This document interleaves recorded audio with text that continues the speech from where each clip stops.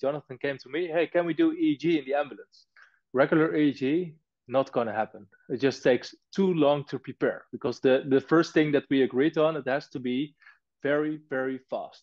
Because if it's not fast, the ambulance is not going to use it. So what we decided first is we need a technology that we can measure EEG with in a very fast fashion. So we quickly arrived at dry electrode EEG. So that means that you have a different type of electrode. It actually looks a bit like a, like an octopus. Uh, and uh, these are plastic electrodes coated with uh, silver silver chloride, which is an excellent uh, conductor uh, to measure uh, EEG. And what you actually do is you put those on top of the hair, and if you twist them a little bit, they just go through the hair. We tested that electrodes in our hospital, uh, at first in volunteers. Uh, then we tested it on patients in the outpatient clinic who actually came in for epilepsy detection.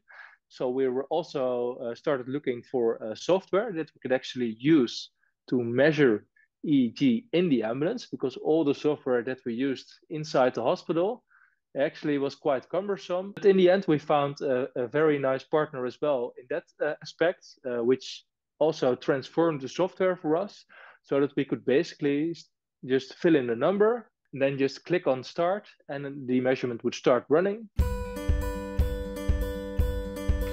This is the Recovery After Stroke podcast with Bill Gasiamis, helping you navigate recovery after stroke.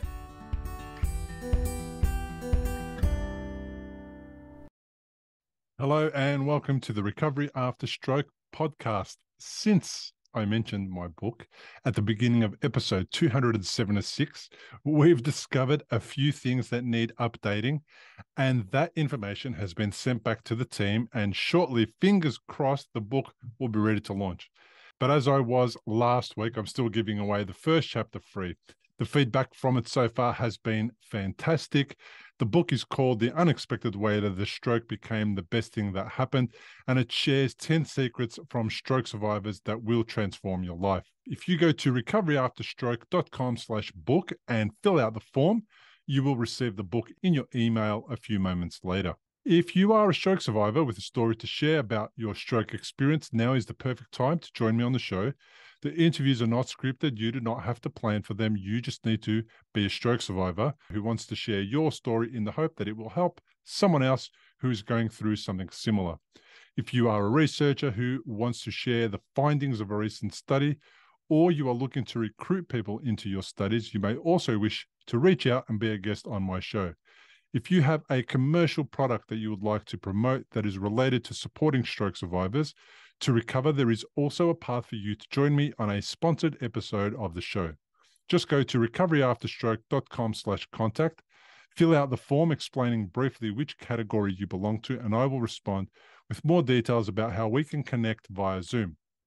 This is episode 277, and my guest today is co-founder of Trianect, Wouter Potters.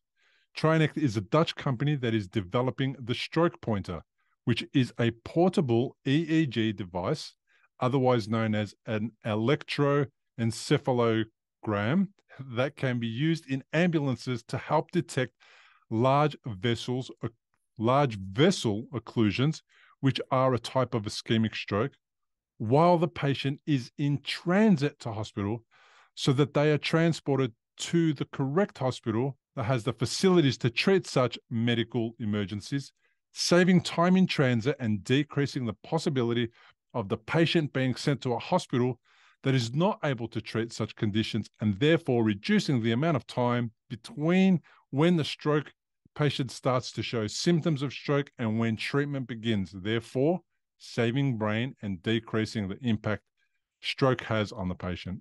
Wouter Potters, welcome to the podcast. Thanks a lot, Bill. It's a joy to be here. Thank you for being honor. here.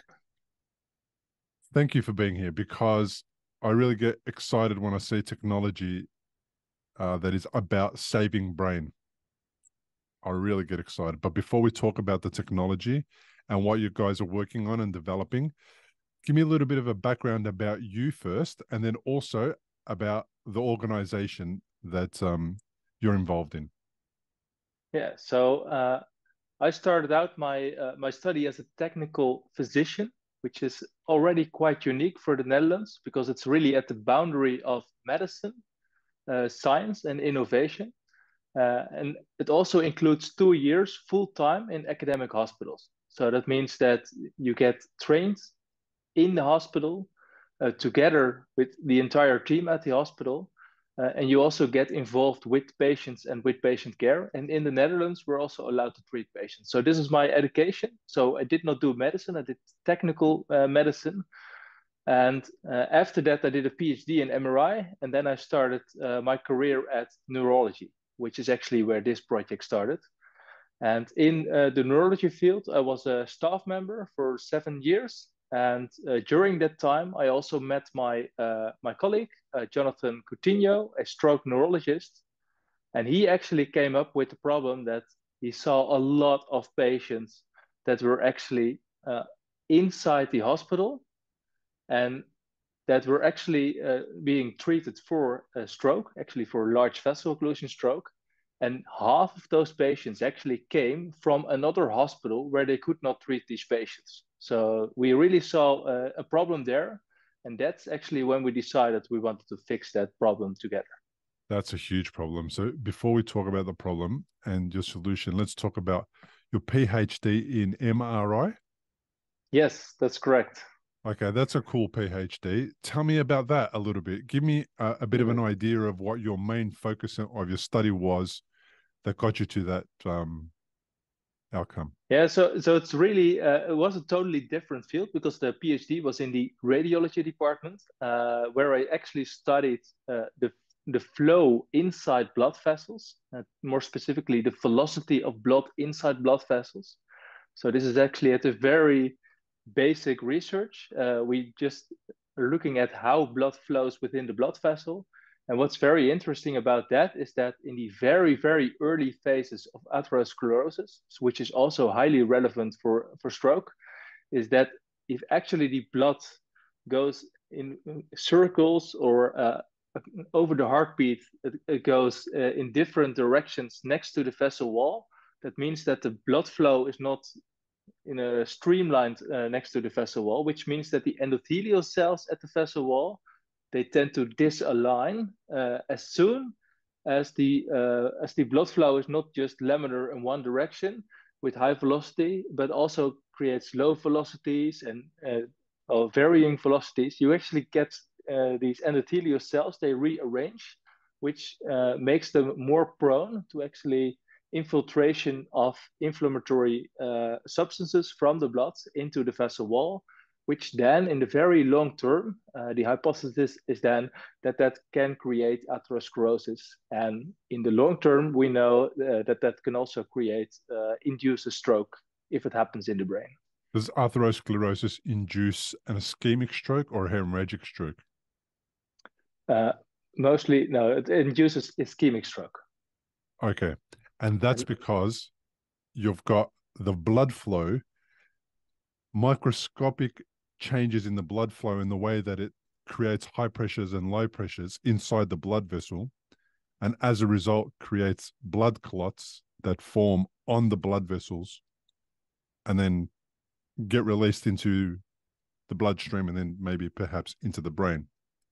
Yeah it's, it's, it's even a little bit more complicated than that because the, the blood flow uh, uh, flows next to the endothelial cells and you can see them as like small uh, little blobs uh-huh. And if the blood flow is really uh, straightforward in one uh, uh, straight in one direction, then these cells nicely align and they form uh, a little bit elongated cells and they're really tightly packed together.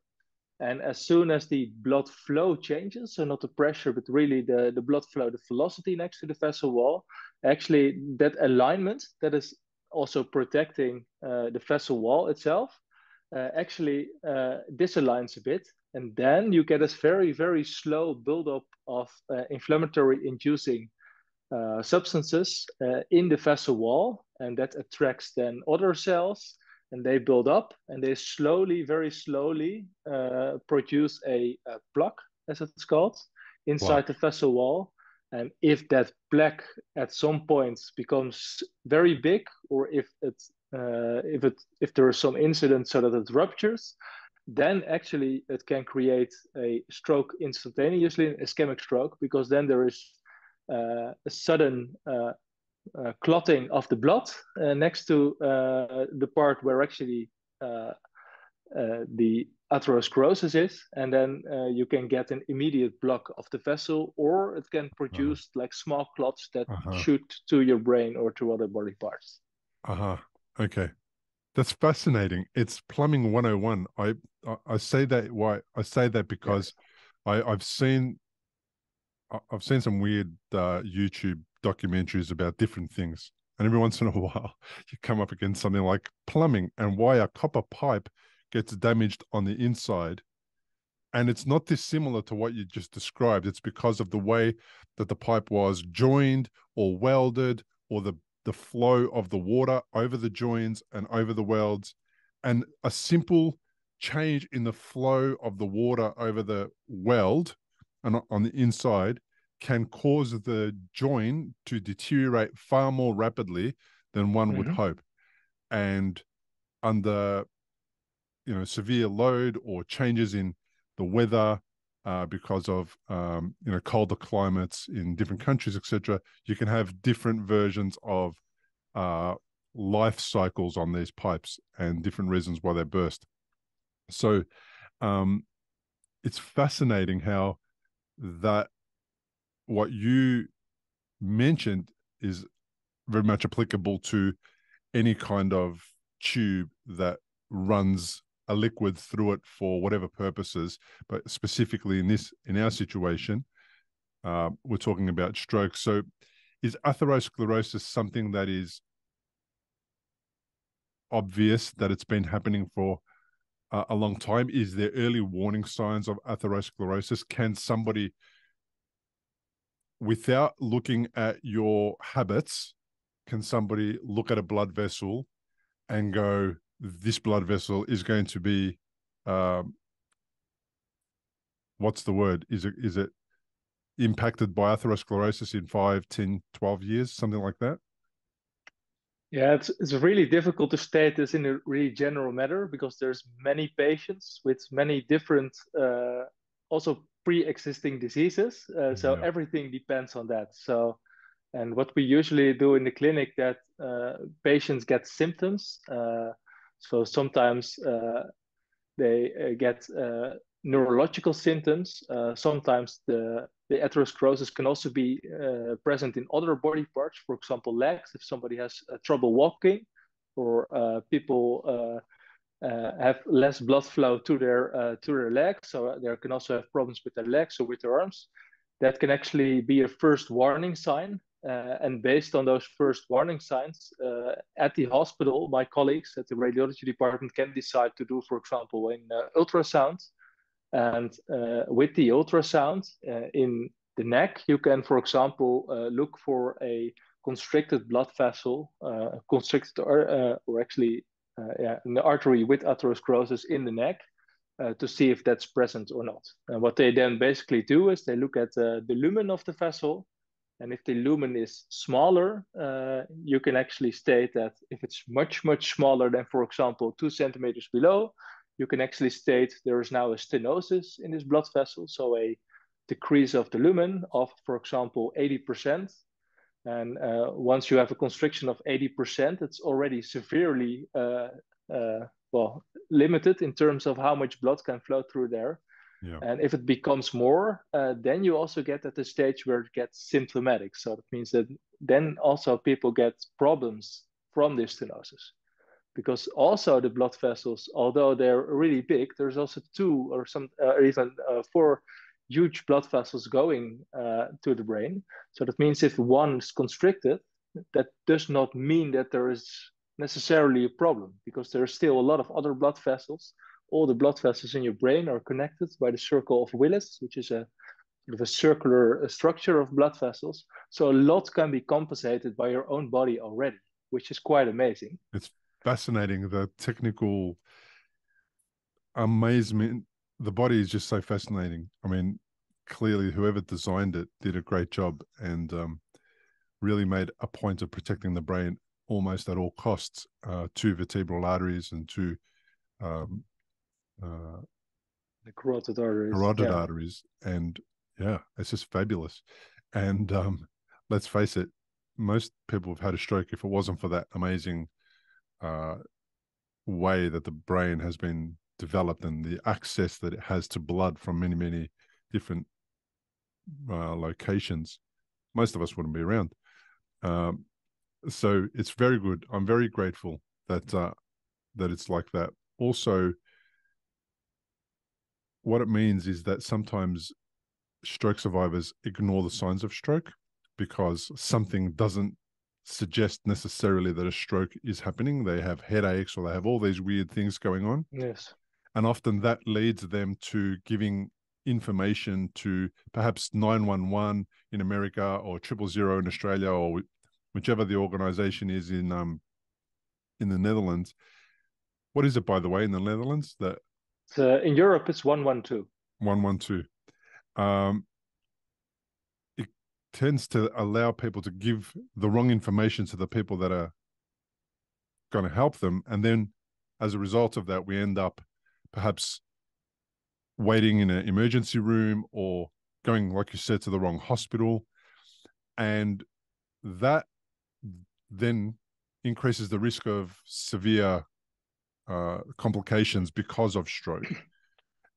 And then sometimes uh, you hear about people who have had a stroke. I've interviewed people who have had a stroke and three, four, five days later have gone to finally get help from somebody at a hospital. And then they're always lamenting that I should have known better, I should have gone earlier, etc. Now, yeah we should have and could have, but we didn't, and that doesn't matter. What matters is that what you're working on is a way to predict way before somebody presents to the hospital and has to wait in emergency, perhaps, and then has to wait for a scan and all those things. You're presenting the possibility that stroke survivors can be supported in the ambulance so that decisions can be made while they are in transit to hospital so that they go to the correct a correct hospital and then b uh, when they get there there's no guessing as to what might be the challenge with this person there might be information already available to triage so that they can get processed appropriately tell me a little bit about that yeah, yeah. First, to get back to you, the first part of your uh, question, the introduction, people not recognizing symptoms of stroke. That's extremely common in stroke patients. So that's uh, really the neglect that they don't have the possibility or the ability to see that uh, there's a stroke going on because obviously the brain's affected, so that does not help. Uh, so it's really important that people in the environment really recognize these fast signals. So really uh, facial expressions, arms uh, not dropping or not moving, really recognize, know those signs, recognize those signs. Yeah. And if you see them, uh, just call 911 and explain what you see very objectively. That That's already very important. And then the next step, if the ambulance arrives, that's where actually we come in. So uh, I've been working at Amsterdam UMC for seven years, and in 2018, we had the idea to triage stroke patients inside uh, the ambulance because we saw that half of these ambulances in the Netherlands, at least, drive to the wrong hospital. And then these patients get picked up again by a second ambulance, usually around 60 minutes later on average. And then they get transported to their uh, best therapy. And we all know time is brain. So this delay can be quite destructive for individuals, uh, meaning not going back to work, going back to work, uh, living in a nursing home, living back home. Mm. So hmm. the differences are really huge in terms of individual patients. Uh, and what our aim was, we wanted to develop a triage instrument that could be used in every ambulance by any ambulance personnel across the world uh, and also, it should be uh, accurate, of course, because we want to accurately depict which patients has to go where. And uh, most specifically, we wanted to detect the large vessel occlusion strokes. So that's a very specific type of ischemic stroke. And the reason why we focus so much on that specific uh, subtype of stroke is because uh, in 2015, there has been a lot of uh, clinical trials that actually showed that endovascular treatments was very, very beneficial over regular uh, thrombect- uh, thrombolysis. Uh, and that actually changed the entire field of stroke care uh, in the sense that people with stroke now get endovascular treatment where they actually go into the blood vessel and pull out the large blood clots. Uh-huh. Uh, the big downside of that is it only works in the big vessels because that's where you can get with these uh, catheters. Uh, but if you can manage to get the blood clot out, time is brain. That's the first thing that's important. Uh, so and the second thing that's important that you really bring the patients as fast as possible to the right hospital. Uh, and inside the ambulance, we cannot diagnose stroke because we need the CT scan right now to diagnose stroke. So, uh, well, long story short, uh, we decided to uh, discuss what technology we can use to actually diagnose stroke. And we came up with uh, the EEG, so the electroencephalography or the brainwave measurements, as we call it. And these brainwave measurements, they really changed almost instantaneously when you uh, suffer from a stroke because the okay. blood vessel uh, closes uh, or is blocked. And once the blood vessel is blocked, uh, there's no oxygen and no uh, glucose uh, supplied to your uh, brain cells, and that means that the uh, the activity of the brain cells immediately drops. And we knew this already because we used this technique already in the hospital. For example, in patients where they operate on one of the carotid arteries to remove, for example, atherosclerosis, we use this technology to measure the brain to make sure that nothing happens to the brain during the surgery. Uh-huh. And as soon as you uh, close one of the vessels and you see uh, that something's going wrong in the brain, that means that the other vessels do not compensate enough to actually uh, compensate for that blocked vessel, uh, which is essentially also what happens in strokes. So if one vessel gets blocked, a large vessel, then the uh, area behind that vessel no longer is supplied with oxygen, and you immediately see a change in brain waves what you see is slowing of the brain waves, uh, less activity.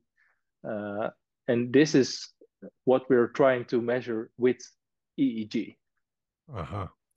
So EEG sounds familiar because uh, most people will know about the ECG, the yes electrocardiograph, right?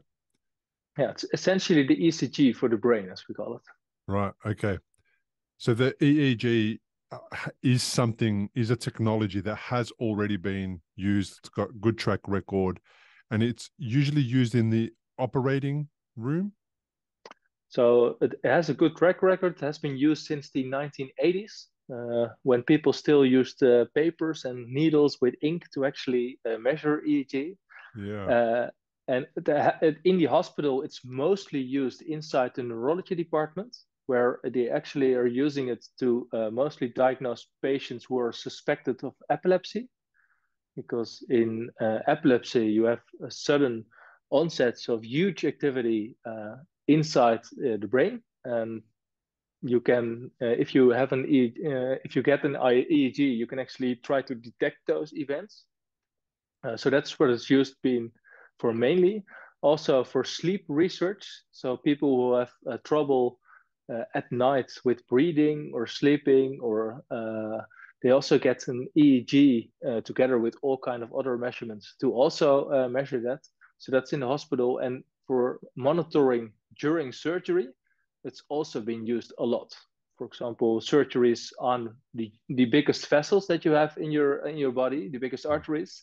You always want to make sure that your brain is not uh, affected during the surgery because then you would end up after surgery with brain damage. So that's also where a lot of this monitoring uh, takes place as well. And the monitoring is usually sticky pads stuck on the head. Is that how it usually looks? That are connected uh, to so for the Yeah, well, for the monitoring, actually, you want to be 100% sure that it's correctly. So actually, for the monitoring, they actually oh. screw these electrodes in the in the head of the uh, of the uh, of the patient, uh, but there's not a lot of electrodes then. Uh, but they actually really are very tightly coupled with the skin, so that there's really a, uh, there's a single-use electrode, and they just twist it into the skin, and a bit like a screwdriver, but then very very tiny yep. which makes sure that the contact is really perfect. And uh-huh. inside the neurology department, it really looks like uh, either a cap with uh, 32 uh, electrodes or more, sometimes even uh, 256 uh, or 512 electrodes. And then each electrode that is put onto the brain is actually connected to the to the skin uh, with a little bit of glue or a little bit of yeah more like a gel.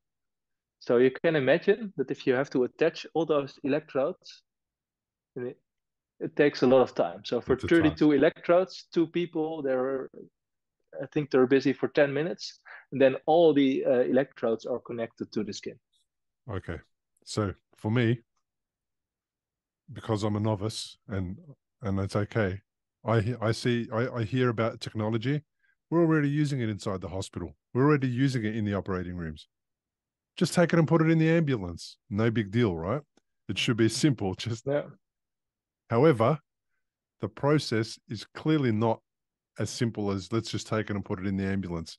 Explain to me the thinking behind put, getting it in the ambulance and how you guys have to then change what is all what, what is almost been proven to be really effective in one location, change it so that it continues to be effective in a different setting where the parameters are very different. You're in a car, the car is moving, you don't have all the equipment, you don't have a lot of technicians on hand, you have yeah. ambulance drivers who are potentially uh, paramedics and who are not necessarily doctors, don't have the skill in this area. My God, all the things that you guys would have had to solve to put this in an ambulance it just seems like a, a massive project. Tell me a little bit about yeah. the transition from inside the hospital to in the ambulance. Yeah, so so the first thing we did is we we uh, because Jonathan at this point, this is actually the point where actually Jonathan came to me. Hey, can we do EEG in the ambulance?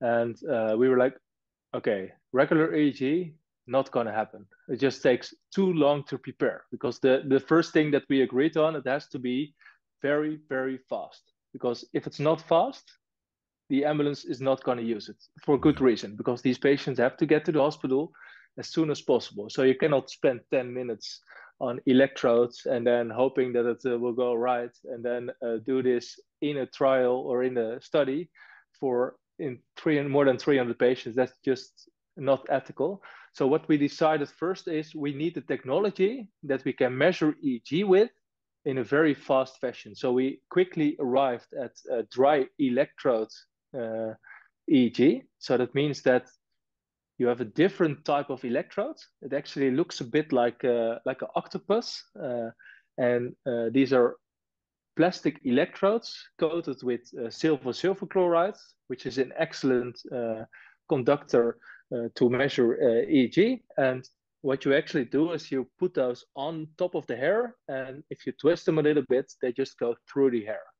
And this was actually back in 2018. Uh, there were just a few new innovations in this uh, in this area, uh, and one of our partners uh, just released a just a commercial product that could measure uh, dry electrode EEG, and we thought, well, we're gonna need that uh, specific product, and we're gonna test it. So that's what we first did. We tested that electrodes in our hospital uh, at first in volunteers. Uh, then we tested it on patients in the outpatient clinic who actually came in for epilepsy detection. And we just asked them after the measurement, do you want to participate in a study just to check these, check out these new electrodes? Well, and at some point we thought, well, okay, this is going to work. So we were also uh, started looking for uh, software that we could actually use to measure EEG in the ambulance because all the software that we used inside the hospital actually was quite cumbersome. A lot of uh, clicks, a lot of training required just to just to basically click on start measurements. So, but in the end, we found a, a very nice partner as well in that uh, aspect, uh, which also transformed the software for us, so that we could basically just fill in the number. That was a, that was the start, and then just click on start, and the measurement would start running. Uh, and that's actually uh, what we've been using then. Uh, and the other thing was it needed to be portable. So we created a nice, uh, yeah, aluminium suitcase was uh, I think uh, around uh, this big, and we actually had the suitcase and we also tested with this suitcase successfully in our emergency department because we were just uh, stepping it up a little bit. We didn't want to start in acute patients, but once we were sure that the technology worked, we could actually validate in these acute stroke patients, which are often uh, uh, very severe patients. So they're also really hard to instruct uh, sometimes. So we, we, really wanted to validate that this would work within five minutes from start to end. And we did this at the emergency department, also in quite a lot of uh, patients. And we saw, okay, now we, now we think this is going to work. And we were already in discussions with ambulance uh, services as well. Uh, first Ambulance Amsterdam, that was the first ambulance company that, that we collaborated with so we went with the suitcase to them and we said, well, we have this and this idea for the study, and we want to place this device in your ambulance. And they were looking at this and they said, no, it's far too heavy. We're not going to carry that. And they said, come with us. So we went to the ambulance and actually uh, they showed us what they had to carry to each patient where they went. And we thought, okay, we have to rethink this. And they, they actually, uh, some of the ambulance personnel there was very helpful so they also showed us what they would want uh, in order to improve this. So we quickly just got all the equipment out of our aluminium suitcase and just repackaged it in a lighter, uh, lightweight bag.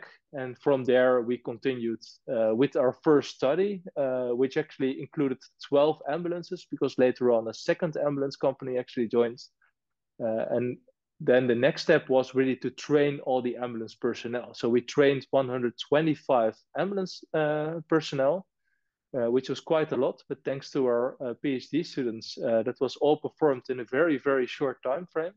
Wow. And then we just started measuring. Uh, and at the start, there were still uh, a lot of hurdles because data quality is was and is a major issue uh, with EEG because uh, if you compare it to ECG, it's a factor thousand uh, lower in terms of uh, signal uh, strength. So it's a really small signal that we're trying to measure. Mm-hmm. Um, but uh, we slowly got the software better and better to also prepare, for example, to look at the contact quality with the skin. and well, at the end of the study, we got to a point where we could actually measure correctly around 65% uh, of the patients, which is still not sufficient. But to prove the general principle that we can use EEG for uh, stroke, large uh, vessel occlusion stroke in the ambulance, that was more than sufficient because we knew that the technology can be improved because we have many ideas to improve it. Actually, there's a new study going on that already implements some of those improvements uh, for the for the headset for the cap. Uh, and we have new uh, developments going on also within the company to further improve data quality uh, and also to provide feedback to the ambulance personnel while they're measuring, because that's really important. That's something we did not do in the first study. Man, it just sounds amazing. So the study, the initial study with the 120 uh, ambulance personnel uh, that went into their ambulances, did it reveal the type of information that you were hoping? And as a result did that mean that you guys got patients to the right hospital instead of the wrong hospital? Yeah so we got the right information but we only knew this after we analyzed the data. So that's ah. always uh, the problem. Uh, nobody actually ever measured inside the ambulance or at least nobody published about it. Uh, and uh-huh. so we did not have the data uh, on beforehand uh, that we could actually yeah we knew it from the emergency department but the downside of the emergency department is that's always later than the ambulance. So we did not know what we would find in the ambulance yet. We had some ideas uh, but we did not write an algorithm yet that could make a decision. And okay. it would be unethical if we would have made a decision already then. Uh, so the first study really was about collecting data, data. and afterwards uh, deciding if we would have made a decision using this algorithm, would this patient then be brought to the right hospital, yes or no?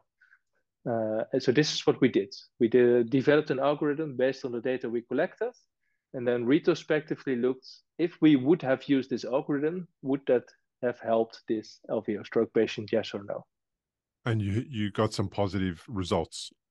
Absolutely, yeah. So we had uh, 90% accuracy, uh, 91% actually for one of the uh, parameters, 80% uh, uh, accuracy for one of the other parameters. But basically means that we can detect the LVO strokes really, really well. Uh, but at the same time, there is also a small portion of the non-LVO stroke, so other diagnosis that we also detected as an LVO stroke, uh, which means they also get brought to a very comprehensive stroke center where they can also be excellently treated. So, right, that's fascinating.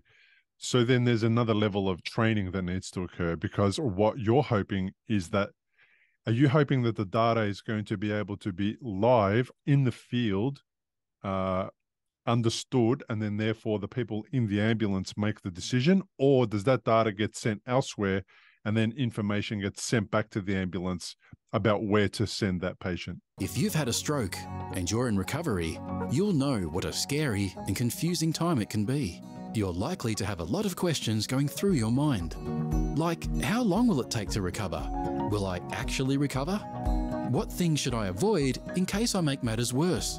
Doctors will explain things, but obviously you've never had a stroke before. You probably don't know what questions to ask.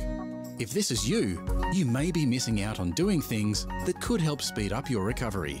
If you're finding yourself in that situation, stop worrying and head to recoveryafterstroke.com, where you can download a guide that will help you. It's called Seven Questions to Ask Your Doctor About Your Stroke. These seven questions are the ones Bill wished he'd asked when he was recovering from a stroke. They'll not only help you better understand your condition, they'll help you take a more active role in your recovery. Head to the website now, recoveryafterstroke.com, and download the guide. It's free.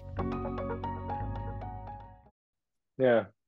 So both options are possible. Uh, we have a very strong preference for making the decision uh, in the ambulance uh, because ambulance personnel is very independent.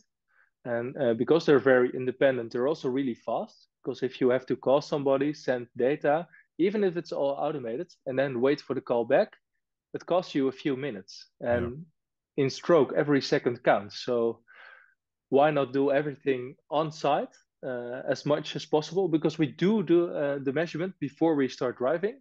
Uh, because we don't want artifacts from driving because you never know if there's a roundabout or if there's a okay. bumps in the road that's this will cause artifacts and you never know when they will happen uh, so we measure while we're still standing still uh, and then we do the measurements and the idea is then that our algorithm that we now developed uh, will be used to make a decision and then the ambulance personnel uh, can use that decision from the algorithm to actually decide I'm going to this hospital or I'm going to this hospital.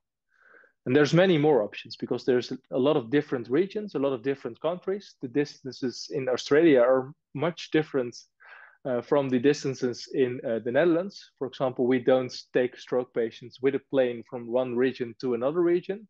I think in Australia this does happen. So there's uh-huh. a lot of different uh, situations and countries uh, where actually the same algorithm uh, might provide a different outcome because you have to take into account the likelihood of a large vessel occlusion stroke, but you also have to take into account that in some countries it takes three hours to actually get the patients to uh, large vessel occlusion stroke uh, treatment. So these are all factors that need to be taken into account.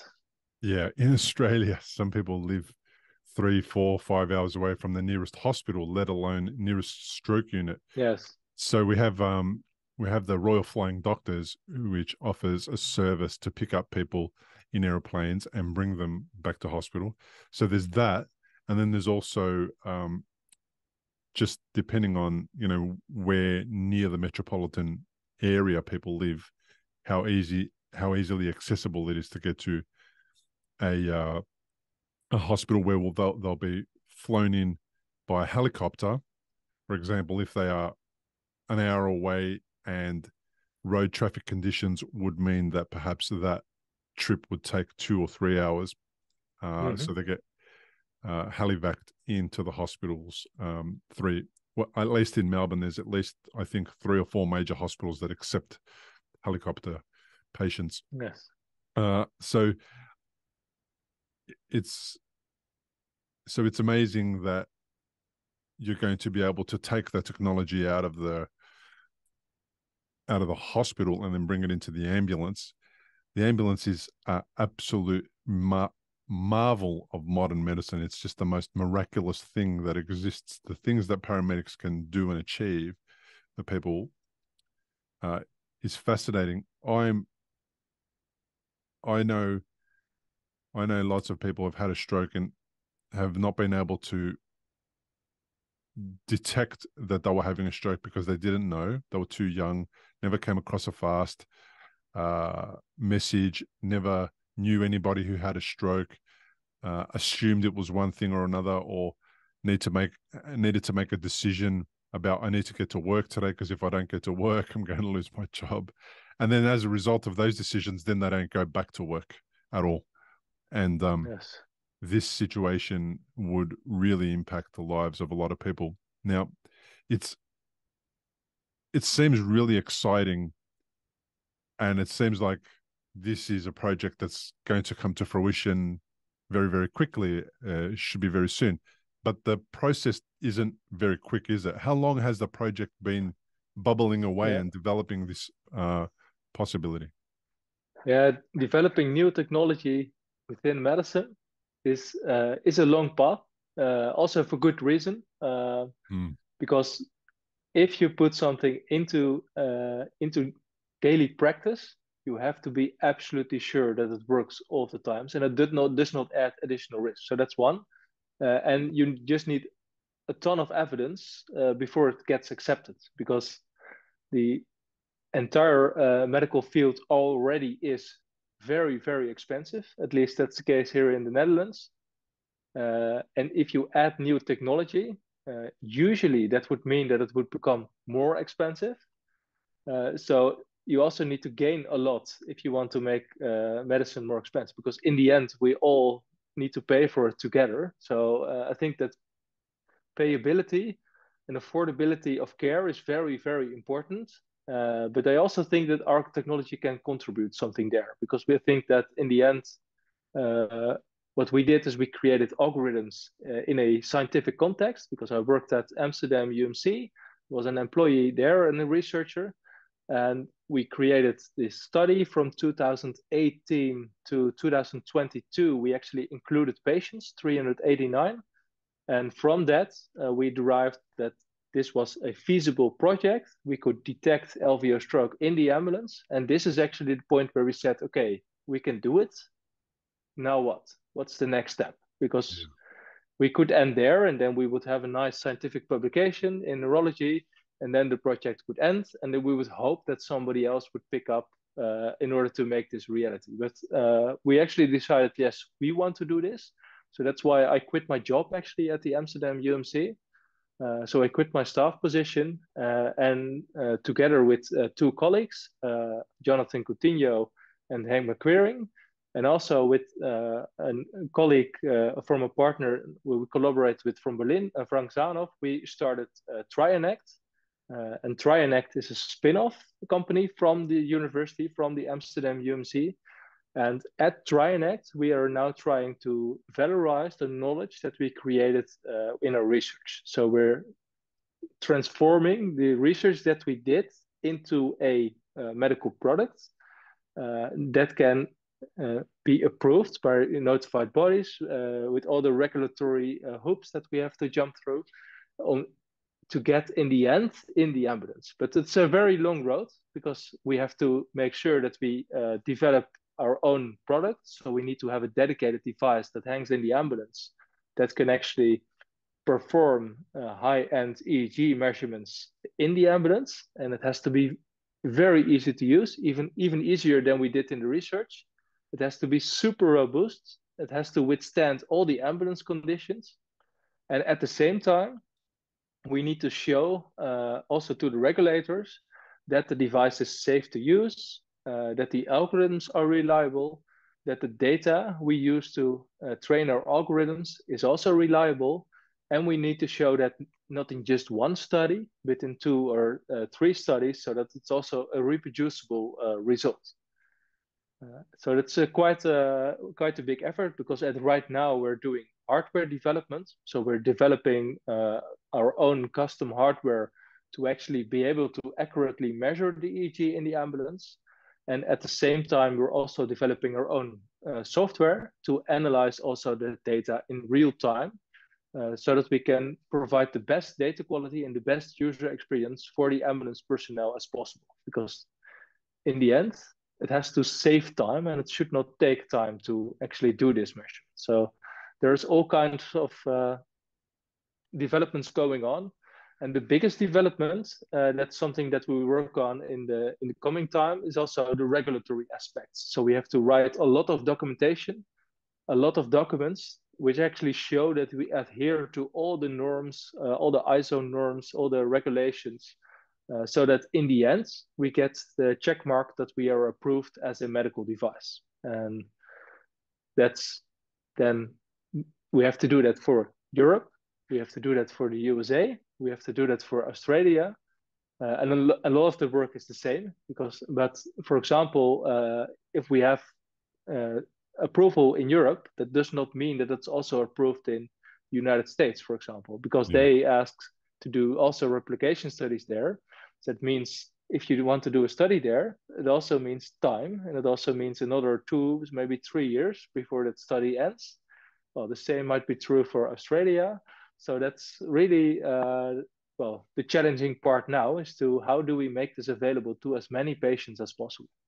Yeah, because it's very much a, uh, it's very much something that should be in every ambulance all around the world if you can manage to get it in there. Yes. Um, but I imagine focusing on uh, on how far widening the scope of the project is and how many people you can implement this uh, process onto and then help would surely be a distraction. It's really then about kind of go trying to go, well, let's just get all our I's dotted here and our T's crossed right here. And let's just make this thing robust, make it work. Let's get the data and let's develop it further and make it make what you said.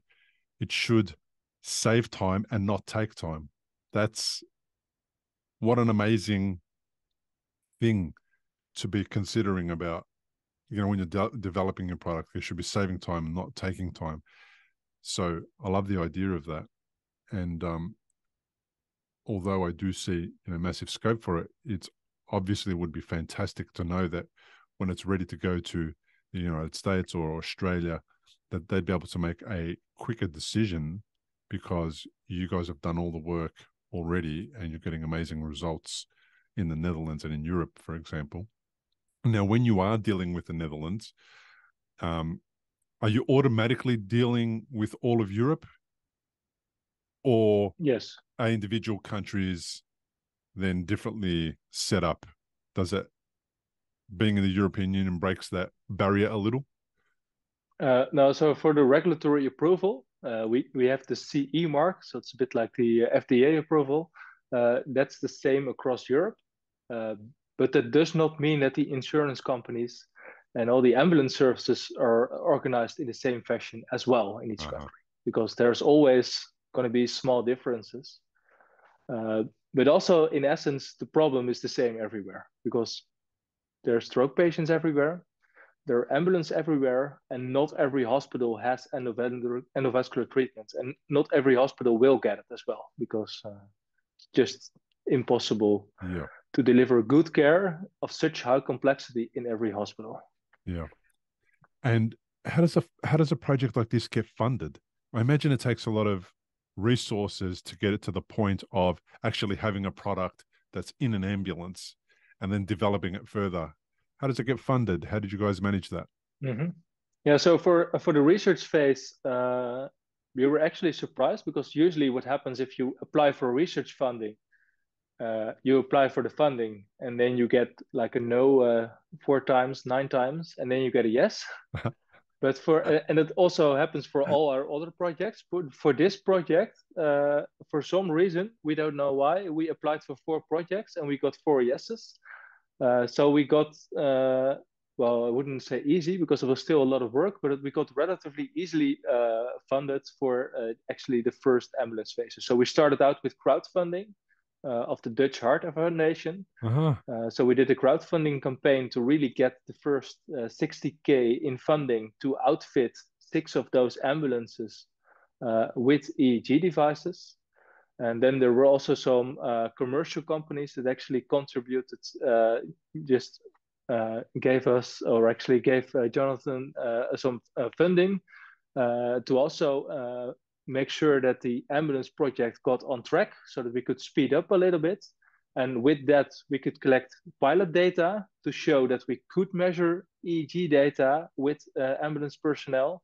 And that actually gave us then the opportunity to go for a slightly bigger grant with other uh, uh, commercial collaborators. Uh, for example, the company that develops the EEG device and the, and the, and the caps and another company that works on AI algorithms, uh, also in acute stroke.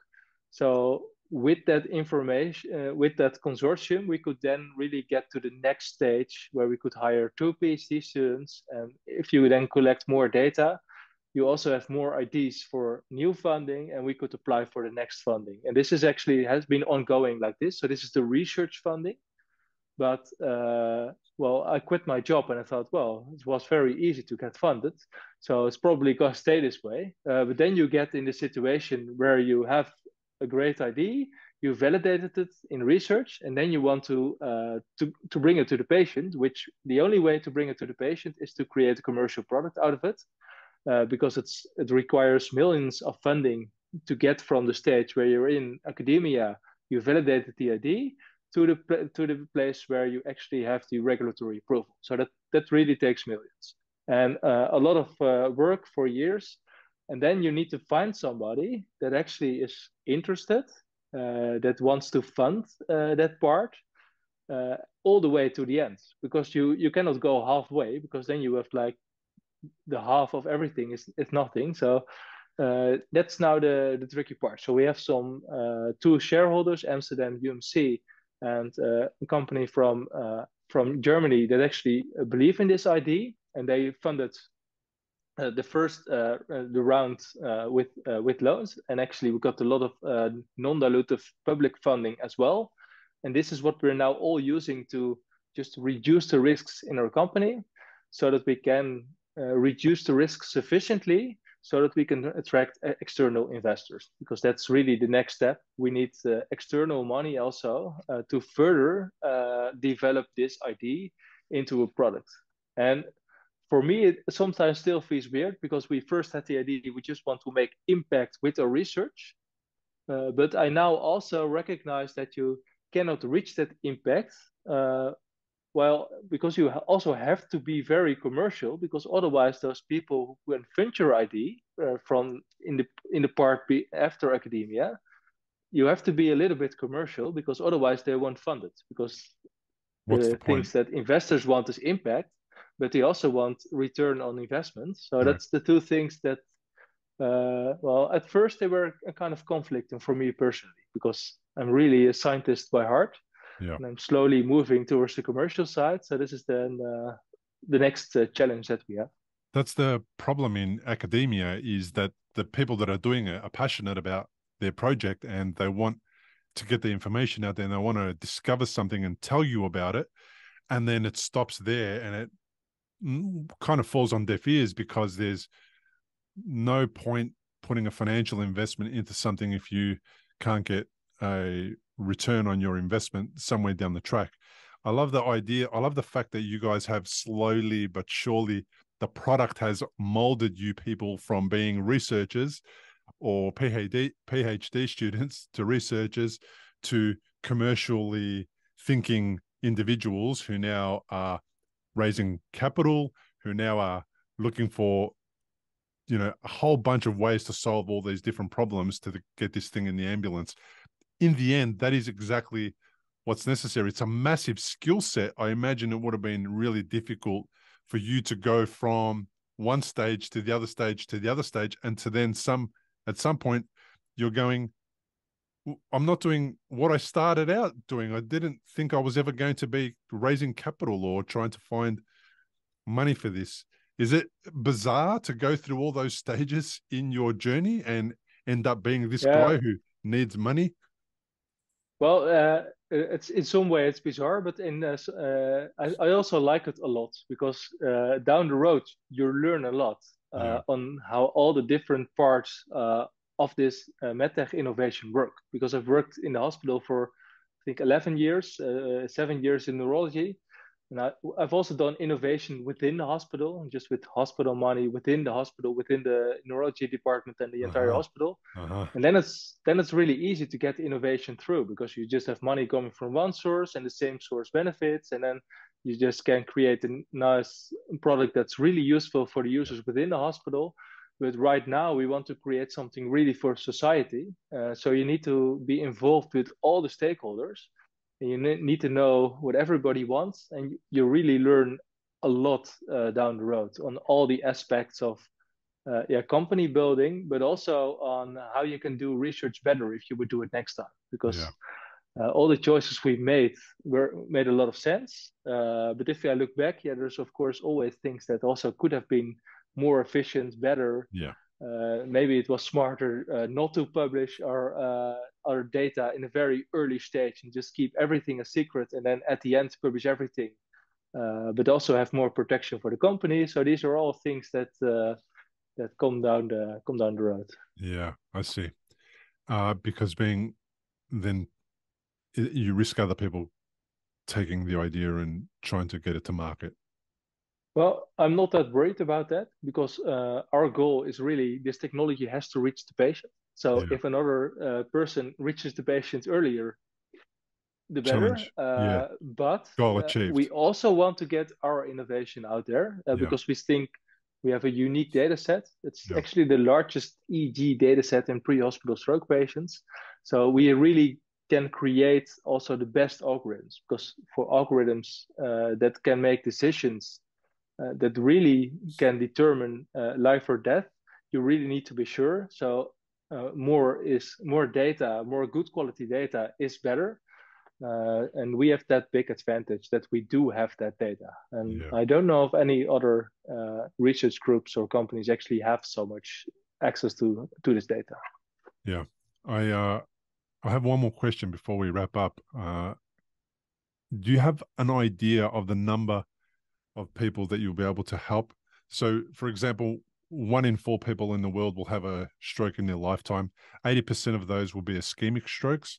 And then I don't know what the data is after that, how many of them are, you know, large vessel vessel occlusions and all that kind of stuff. So then based on the information, the data that you know, the statistics that you know about stroke and large vessel occlusions, uh, do you know the numbers of people or do you have a hope of what the number of people are that you'll be able to assist further as opposed to when this technology didn't exist yes so i think that uh, each year uh, if you look at the global picture we could help 1.8 million people that are now being brought to the wrong hospital uh, so uh, I think there is a large opportunity there, and this number is also growing each year with the aging yeah. population. So I think there are many, many people. Uh, and added to that, uh, we also see that endovascular treatment gets better and better. So that also more and more people with uh, strokes in slightly smaller vessels can also be helped. So, uh, and also there is of course hemorrhagic stroke. In the end, we also hope that we can detect those type of strokes. So I also hope that we can enlarge uh, as we collect more data in more types of patients that we can also increase the number of uh, people that we can help by directing them directly to the right treatment for those patients. Oh, I really certainly hope that you can also then roll it out for hemorrhagic stroke patients. It's definitely an area that seems to be, well, not neglected, but because they're not as common as ischemic strokes, there's less uh, work being yes. done in that space. But nonetheless, I'm a hemorrhagic stroke survivor and I know a lot of them uh, who have come come good and who have had help and have been supported and things are, are going well. So we're not missing out on amazing technology by any stretch of the imagination. Um, that's certain. But what that means is if you're getting a, a, a, an, a million, an, an additional 1.8 million people uh, supported and helped, that is a number of um, an amazing number of people that are going to go back to regular work. They're going to go back to regular life. They're going to be able to go and be a regular part of their community, and they're going. That's going to decrease the number of uh, incidences of disability after stroke. That'll then decrease the number of people that need uh, medical assistance and rehabilitation and time in, you know, off work and all these things and not being a part of their family.